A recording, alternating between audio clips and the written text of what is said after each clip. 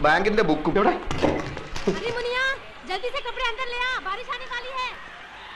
എന്റെ അമ്മോ ഇരുപത്തിമൂന്ന് ലക്ഷം. അവളുടെ അക്കൗണ്ടിൽ ബാങ്കിലുണ്ട്. പടച്ചോനെ ഇരുപത്തിമൂന്ന് ലക്ഷം. ചെക്ക് ബുക്ക് ഉണ്ട് നമുക്ക് എഴുതിയെടുക്കാം എഴുതി അങ്ങോട്ട് കൊടുത്താ ഉടനെ കാശ് എടുത്തരാൻ നിന്റെ പാപ്പ അവിടെ മാനരാ? ഒരു വസ്തു അറിഞ്ഞൂടാ. ഇവിടെ അവിടെ ചെക്കിൽ ഒപ്പിടണം. മണ്ടം മുത്തപ്പ. ഓളും ബാപ്പയും മയ്യത്താവുന്നല്ലേ ഇനി പറഞ്ഞത്? രണ്ടിന്റെ കിടപ്പ് കണ്ടിട്ട് കാറ്റ് പോണ ലക്ഷണമാണ്? അങ്ങനെ കാറ്റ് പോയാ പിന്നെ ഇരുപത്തിമൂന്ന് ലക്ഷം ആർക്കാ? ഓളോ പുയ്യാപ്പിളക്ക്. എന്ന് വെച്ചാ നിനക്ക്. അപ്പൊ ഒറിജിനൽ ആൽഫി വരും. ലക്ഷവും കിട്ടൂല. ആൽമാറാട്ടത്തിന്റെ പേര് കേസാവും. ഞാനില്ല. ഞാൻ സത്യം തുറന്നു പറയാൻ പോകാം അങ്ങനെ തുറന്ന് പറയാൻ വരട്ടെ. നമുക്ക് ആശുപത്രി പോയിട്ട് നന്നായിട്ട് എല്ലാ കാര്യങ്ങളും ഒന്ന് വിസ്തരിച്ച് മനസ്സിലാക്കാം. എന്നിട്ട് മതി സത്യം തുറന്നു ഞാൻ ഇല്ല ഞാൻ ഇല്ല. ഞാൻ സത്യം തുറന്നു പറയാൻ പോവാ. മോഷണം ജയിൽ തൂക്കുമരം. ഇതൊക്കെയാണ് ഇപ്പൊ നമ്മുടെ മുമ്പിൽ തെളിഞ്ഞു നിൽക്കുന്ന വഴികൾ. വേറെ ഏതെങ്കിലും ഒരു വഴി കൂടി ഒന്ന് ശ്രമിച്ചു നോക്കുന്നതിൽ എന്താ കുഴപ്പം? വേറെ ഏതെങ്കിലും ഒരു വഴി കൂടി ഒന്ന് ശ്രമിച്ചു നോക്കുന്നതിൽ എന്താ കുഴപ്പം? ആ- വഴി കൂടെ പോയിട്ട് നമ്മൾ ബന്ധപ്പെടുന്ന ഈ ഈ വഴിയിലാണെങ്കിൽ പിന്നെ നമ്മളേത് നമ്മൾ ഏത് വഴിയിലായി പോവും?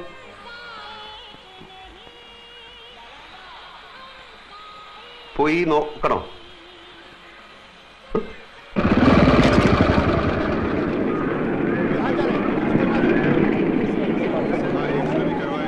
എടാ, ഈ ബൈക്ക് പിടിക്കാൻ നടക്കുന്ന മാർവാടികളുടെ ഗുണ്ടകൾ വല്ലതും ഉണ്ടോ എന്ന് നോക്കിക്കോളി ഇല്ല.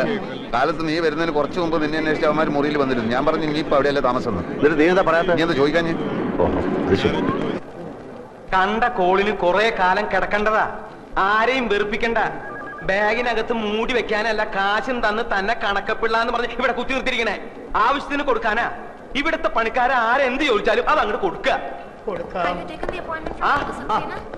അയ്യോ എവിടേക്കാ പോണേന്ന് വെച്ചാ പറഞ്ഞിട്ട് പോണ്ടേ ഫോൺ നമ്പറും ഇല്ല അഡ്രസ്സും ഇല്ല എ- എ- എന്താ കാര്യം വർമ്മ സാറ് ബോധം വന്നപ്പോ മുതൽ നിലവിളിക്കുക ആൽഫി ഞാൻ- ആൽഫി ഞാനിപ്പോ അതിനെന്ത് ചെയ്യണം ഒരച്ഛന്റെ വിഷമം മനസ്സിലാക്കണം പറയുന്നത് കേൾക്കല്ലാതെ മറിച്ചൊന്നും പറഞ്ഞ് അങ്ങേരെ വിഷമിപ്പിക്കരുത് ഞാൻ വ- മോന് പുണ്യം കിട്ടും വാ ഇനി വാ डॉक्टर साहब मेरा बच्चा ठीक तो हो जाएगा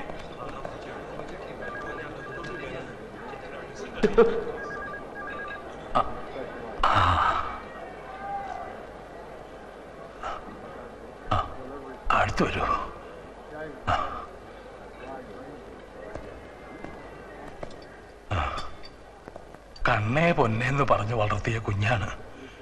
ഇപ്പൊ കിടക്കണ കിടപ്പ് കണ്ടില്ലേ? ഡോക്ടർ പറഞ്ഞു നീ വേണം അവളെ രക്ഷിക്കാനെന്ന്.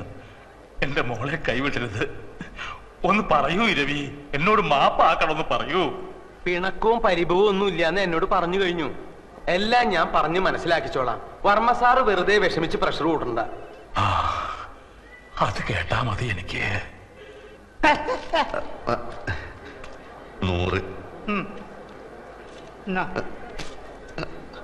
നൂറാ? എടോ ഇത് ആദ്യം പറഞ്ഞോളൂ ഇരുന്നൂറൊന്ന്. നൂറ് നൂറ് നൂറ്. നൂറ് ഇരുന്നൂറ് മുന്നൂറ് എത്ര വേണമെങ്കിലും തരാം. ഇല്ലേ? അവിടെ ചെന്ന് കിട്ടിയില്ല എന്ന് കംപ്ലൈന്റ് പറഞ്ഞു നന്ദി. വേണടാ നന്ദി. എനിക്ക് ചില കാര്യങ്ങൾ അറിയാനുണ്ടായിരുന്നു. എന്ത് കാര്യം? ചന്ദ്രയ്ക്ക് ആ ബോധം തെളിഞ്ഞത്. എല്ലാം കാണാം എല്ലാം കേൾക്കാം എല്ലാം മനസ്സിലാക്കാം. പക്ഷെ സംസാരിക്കാൻ കഴിയില്ല. കഴുത്തിന് താഴെ ആകെ തളർന്നിരിക്കുക ഒരു സ്ട്രേഞ്ച് കേസായിട്ടാണ് എനിക്ക് തോന്നുന്നത്.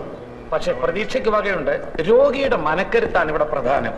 ഒരു മിറക്കിൾ സംഭവിച്ചാൽ നാളെ തന്നെ എഴുന്നേറ്റ് നടന്നു എന്ന് വരാം. ചിലപ്പോ നാല് വർഷമായി എന്നും വരാം. എല്ലാം തന്റെ കയ്യിലാണ്. ജീവിക്കണമെന്ന മോഹം എത്രയും കൂടുന്നോ അത്രയും പെട്ടെന്ന് ചന്ദ്രിക സുഖം പ്രാപിക്കും. ആ മോഹം ഉണ്ടാക്കേണ്ടത് നിങ്ങളാണ്. നിങ്ങളാണ് എല്ലാവരുടെയും ഒരേ ഒരു പ്രതീക്ഷ. ഹൗ ഇസ് എല്ലാം നോർമൽ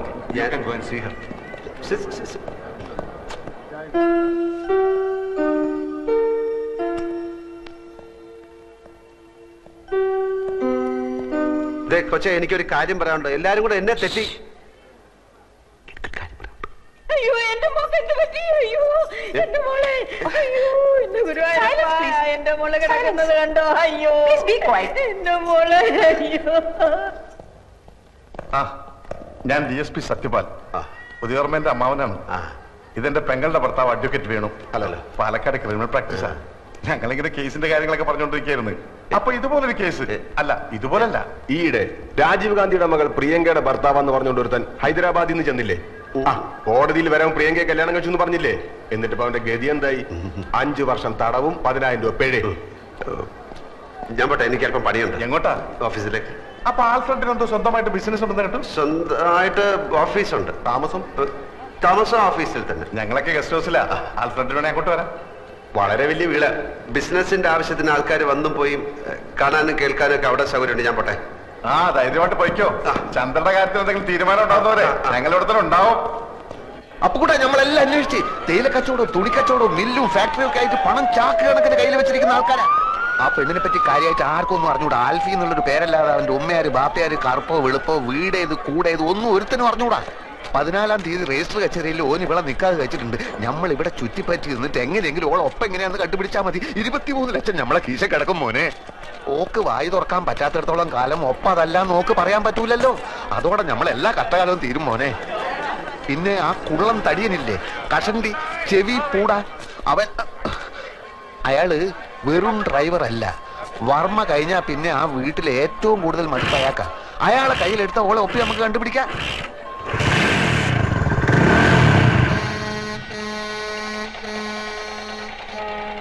ഇനി എന്താടാ ഒന്നും മിണ്ടാത്തത്? നീ പടച്ചോനെ കണ്ടിട്ടുണ്ടാ? ഇല്ല കണ്ടിരുന്നെങ്കിൽ ഒന്ന് ചോദിക്കായിരുന്നു. എന്തിനാ ഇങ്ങനെ എന്നെ പടച്ചു വിട്ടതെന്ന്? എന്നാ പടച്ചോനെ നമ്മൾ കണ്ടിട്ടുണ്ട്. എവിടെ വെച്ച്? പലയിടത്തും വെച്ച് പല രൂപത്തിൽ.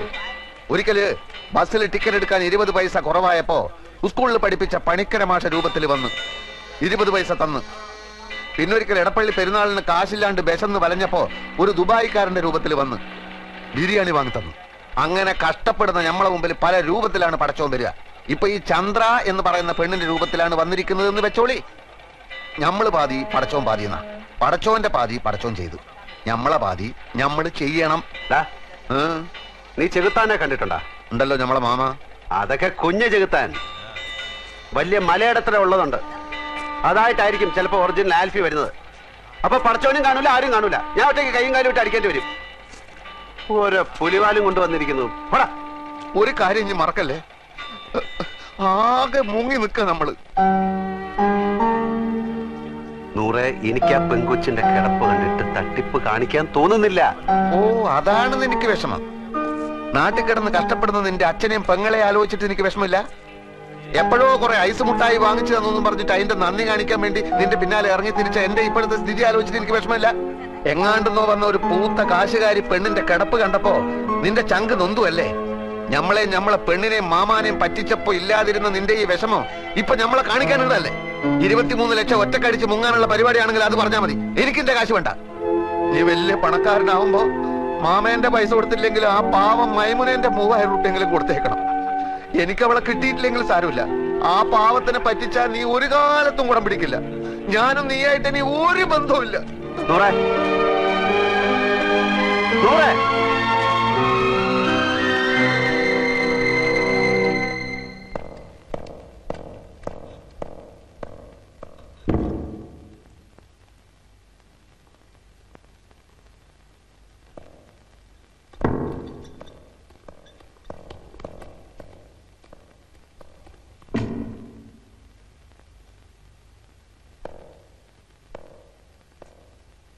കൊച്ചേ നിനക്കെല്ലാം കാണാനും കേൾക്കാനും പറ്റുമെന്ന് എനിക്കറിയാം. I am Appukuttan.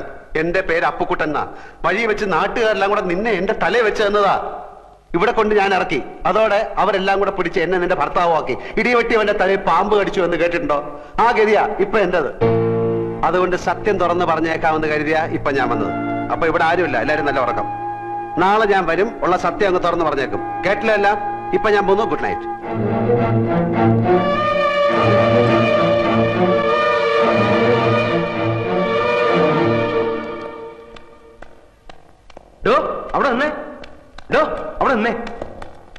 ഒരു പാവം പിടിച്ച പെണ്ണിനെ പ്രേമിച്ച് കെട്ടിയിട്ട് അവളെ ഒന്നിനു കൊള്ളാതായപ്പോ മുങ്ങി രക്ഷപ്പെടാൻ നോക്ക. അങ്ങനെയൊന്നുമല്ല പിന്നെ താനല്ലടോ അവളുടെ ഭർത്താവാണെന്ന് പറഞ്ഞു ഓപ്പറേഷൻ മുമ്പ് ഒപ്പിട്ടത്. അതൊരു പെണ്ണുമ്പോൾ അവിടെ ഒപ്പിട ഇവിടെ ഒപ്പിട അവിടെ ഒപ്പിട എന്ന് പറഞ്ഞപ്പോ ഞാൻ ഒപ്പിട്ട് പോയതാ. അതിപ്പോ നീ ഉണ്ടാക്കിയ സൂത്രല്ലേ? സൂത്രോ? ദേവരാജ് മറ്റേ വർത്താനം പറയരുത്. എന്റെ പേര് കെ സി അപ്പുക്കുട്ടുന്ന കുറ്റിപ്പുറത്ത് ചേരിൽ അപ്പുകുട്ടുന്നവര് തനിക്ക് വിശ്വാസമല്ലേ birth certificate S S L C book നാളെ കൊണ്ട് കാണിച്ചു തരാം. അതിപ്പോ ഏത് ചേരിയിലും ഏത് പേരിലും ആർക്കും കിട്ടും. എന്നാലും കാര്യം ചെയ്യ്. അവന്റെ പേരെന്താ? ആൽഫ്രഡ് ഫെർണാണ്ടസ് എന്നൊരു കല്ലാസ് ഉണ്ടാക്കിയിട്ട് താനാ അവളെ കെട്ടിയെന്ന് പറ. പോയി പണി നോക്കണോ നിൽക്കണോ അവിടെ. ഡോ. അപ്പൊ സത്യം പറയാൻ പോവാ? ഏ? സത്യം പറയാൻ പോവാ. അതെ രാവിലെ ഞാൻ വരും. ഉള്ളതൊക്കെ എല്ലാവരോടും അങ്ങ് തുറന്നു പറയും. അതോടെ ഏർപ്പാട് അങ്ങ് ക്ലോസ് ചെയ്യും. തനിക്ക് എന്താണോ വേണ്ടത്? ഞാൻ സമ്മതിക്കില്ല. എന്ത് വന്നാലും നീ സത്യം പറയാൻ ഞാൻ സമ്മതിക്കില്ല. എനിക്ക് സത്യം പറഞ്ഞേ പറ്റൂ. എന്താണ് നിന്റെ അപ്പന്റെ പേര് ഹരിചന്ദ്രന അല്ല ഗോവിന്ദൻ നായർ. പിന്നെ എന്താണ് നിനക്ക് ഇത്തിരി കള്ളം പറഞ്ഞാൽ? എനിക്ക് കള്ളം പറയേണ്ട കാര്യമില്ലല്ലോ. എന്റെ പൊന്നാൽ. ഓ അപ്പുക്കുട്ടൻ നായരുടെ മോനെ ഞാൻ പറയുന്നത് കേക്ക്. നീ പറഞ്ഞത് ശരിയാ. കള്ളം പറയേണ്ട കാര്യം നിനക്കില്ല. പക്ഷെ ഇവിടത്തെ സ്ഥിതി കൂടി ഒന്ന് ആലോചിക്കണ്ടേ. മോളുടെ ഗതി കണ്ട് നിന്റെ മുമ്പിലല്ലേ ആ വർമ്മ സാർ ബോധം കെട്ട് വീണത്. ആ ഷോക്കിൽ നിന്ന് ഇതുവരെ അങ്ങേര് കര കയറിയിട്ടില്ല ഈ നിലയിൽ ഇതും കൂടി കേട്ട ആ പാവം ചത്തുപോകും ഞാനല്ലാത്ത കാര്യം ഞാൻ എങ്ങനെ പറയും? നിനക്ക് സത്യം പറയണല്ലേ? ആ നീ സത്യം പറഞ്ഞോ? ഒരു മൂന്നാൽ ദിവസം കൂടി കഴിഞ്ഞോട്ടെ. അങ്ങോട്ടൊന്ന് എഴുന്നേറ്റ് നിന്നോട്ടെ. എന്തും കേൾക്കാനുള്ള മനക്കെട്ടി അദ്ദേഹത്തിന് വന്നോട്ടെ. നിന്നെ ഞാൻ ഈ ഇരവിക്കുട്ടിപ്പിള്ള അദ്ദേഹത്തിന്റെ മുന്നിൽ കൊണ്ടുവന്ന് നിർത്തി സത്യം പറയിപ്പിക്കുക അതുപോലെ അതിനിടെ ശരിക്കുള്ള വന്ന ഞാൻ കള്ളനാവില്ലേ? വരുന്നെങ്കിൽ എന്നേ വരണമായിരുന്നു. നമുക്കറിയാത്ത എന്തൊക്കെയോ കുഴപ്പങ്ങൾ നടന്നിട്ടുണ്ട്. ചന്ദ്രക്കുഞ്ഞ് വാ തുറക്കാതെ നടന്നോ ഒന്നും അറിയാനും പറ്റില്ല. ഇനി അഥവാ വന്നാൽ ഞാൻ പറയും